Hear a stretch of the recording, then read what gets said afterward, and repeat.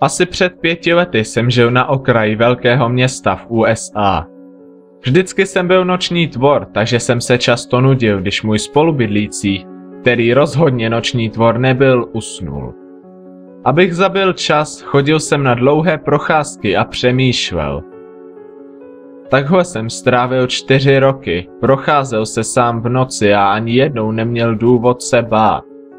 Vždycky jsme si dělali se spolubydlou srandu, že i drogoví díleři jsou v tomhle městě slušní.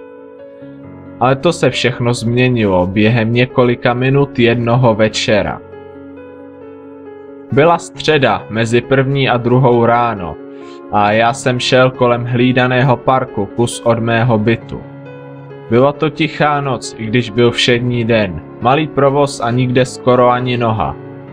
Park byl jako obvykle prázdný. Zabočil jsem na krátkou uličku, abych se vrátil zpátky k bytu, když jsem si ho všiml. Na opačném konci ulice, na mojí straně, byla silueta tančícího muže. Byl to zvláštní tanec, podobný valčíku, ale za každým krokem poskočil dopředu. Dalo by se říct, že to byla taková taneční chůze. Šel přímo ke mně. Řekl jsem si, že je opilý, tak jsem si stoupil k silnici, abych mu udělal prostor. Čím blíž ale byl, tím víc jsem si uvědomil, jak ladně se pohyboval. Byl vysoký a hubený, oblečený ve starém obleku. Přitancoval blíž a já uviděl jeho obličej.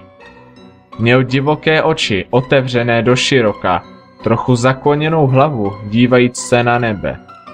Jeho ústa tvořila bolestivě široký úsměv. Rozhodl jsem se přejít na druhou stranu, než přitancuje ještě blíž. Spustil jsem ho z očí a přešel přes silnici.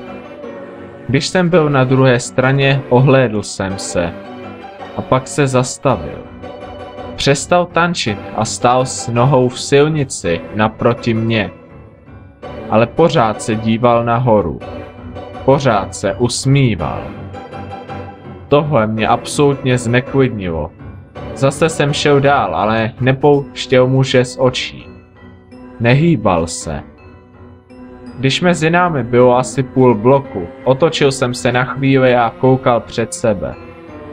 Ulice byla přede mnou úplně prázdná. Pořád nervózní jsem se otočil na místo, kde stál a zjistil, že je pryč. Na malou chvíli se mi ulevilo, dokud jsem si ho nevšiml. Přešel přes silnici a byl teď trochu schrbený. Nebyl jsem si jistý kvůli vzdálenosti a stínům, ale díval se na mě. Nekoukal jsem na něj sotva 10 sekund, takže se pohyboval rychle. Byl jsem v takovém šoku, že jsem tam chvíli stál a koukal na něj. A pak se zase začal pohybovat ke mně. Kráčel přehnaně po špičkách jako nějaká postava z kresleného seriálu, která se k někomu plíží. Až na to, že se pohyboval hodně, hodně rychle. Rád bych řekl, že touhle dobou jsem utekl, nebo vytáhnul pepřák, nebo mobil, nebo tak něco, ale to se nestalo. Jen jsem tam stál, stuhlý, když se ke mně usmívající se muž přibližoval. A pak zase zastavil, asi ve vzdálenosti délky auta ode mě. Pořád se usmíval a koukal na nebe. Když jsem konečně našel hlas, vykoktal jsem první věc, co mě napadla. Chtěl jsem se zeptat, co chceš, naštvaným, rozkazujícím tónem, ale místo toho jsem zakňučel, co? Ať už lidé mohou cítit strach nebo ne, rozhodně ho můžou slyšet. Já ho slyšel ve svém hlase a to mě vystrašilo ještě víc ale on vůbec nereagoval. Jen tam stál a usmíval se. A pak, po době, co mi připadala jako věčnost, se otočil velmi pomalu a začal tančit pryč. Jen tak. Nechtěl jsem se k němu zase otočit zády, tak jsem ho sledoval, dokud nebyl skoro pryč z dohledu. A pak mi něco došlo. On už se nevzdaloval, ani netancoval. S hrůzou jsem sledoval, jak vzdálený tvar roste. Vracel se. Tentokrát běžel. Já jsem taky běžel.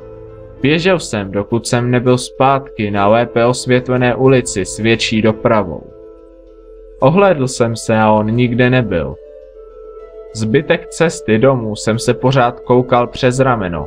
Pořád očekával, že uvidím ten jeho blbý úsměv. Ale nikde tam nebyl. V tom městě jsem žil dalších šest měsíců a nikdy už jsem nešel na žádnou procházku. Něco na jeho obličeji mě pořád děsilo. Nevypadal opile nebo sfetovaně. Vypadal naprosto šíleně. A to je něco velmi, velmi strašidelného.